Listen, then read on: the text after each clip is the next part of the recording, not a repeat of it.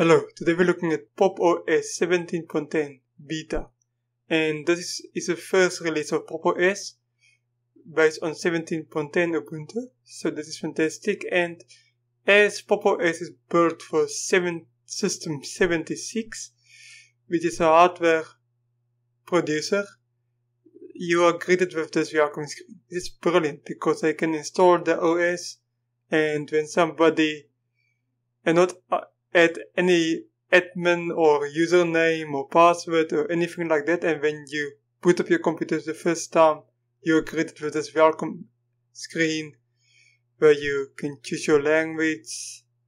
You can share your privacy with this on by default. You can choose your time zone as I'm based in St. Petersburg currently. That is right.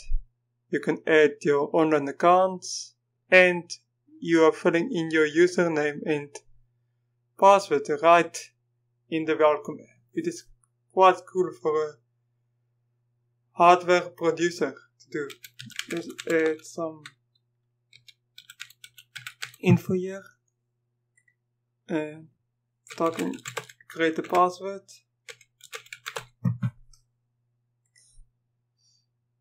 As you can see, it's quite straightforward and you are ready to go.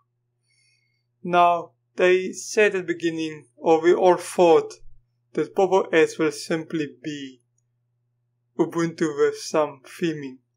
But as you can see, it's more GNOME with some theming.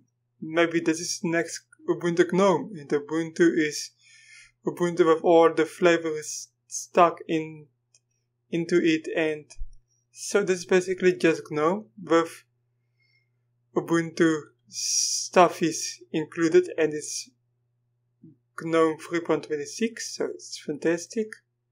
And they got a, a, lot of own wallpapers is funny things to, to talk about but they got some really cool wallpapers as you can see. It is beautiful and got some funky stuff and some real stuff. So let's say welcome to colorful Colorado. As I am, as I am based. And lock screen is exactly the same and you can also choose the colors for any one of your own photos. Oh. And as you can see this is no this is a new GNOME system settings. It's a very nice one. Very polished off very much like the new KDE system settings as well as Unity 8 units system settings. It's same feeling. I like it. It's GNOME 3.26. They're using Ubuntu 70.10 now and it's a beta release.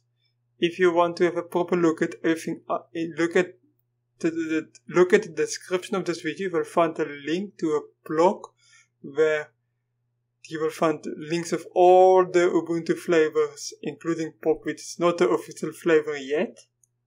And also links where I just click on everything with background music. It's a proper look at all the systems. It's lots of stuff to find there. Yeah, so this is basically if you go to the top panel, there's some very cool stuff which is hidden since, since now. So we're gonna come now as you can see all your settings look work well.